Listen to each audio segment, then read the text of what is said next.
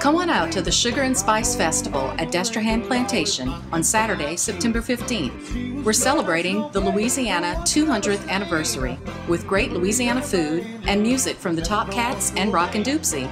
So bring your lawn chairs and blankets. Admission is only $10 per person. See you at the Destrehan Plantation's Sugar and Spice Festival, Saturday, September 15th.